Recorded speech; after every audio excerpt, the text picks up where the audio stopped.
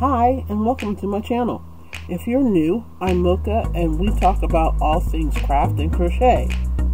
I started my channel because I wanted to show the world the power to heal through crafting. Creating can soothe the soul, mend a heart, and ease a troubled mind. It's also a great way to meet new people and find your tribe. So, if you're into crafts, crochet, and the life that can come with it, you're in the right place because that's my jam.